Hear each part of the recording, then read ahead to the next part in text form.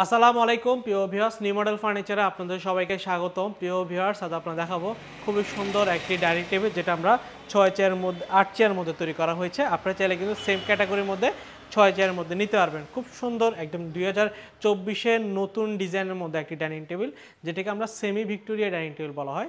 একদম সলিড চিটাগং সেগুন কাঠের মধ্যে আমরা লেকার পলিশ করা হয়েছে, যে পলিশটা মেশিন দিয়ে করা হয়।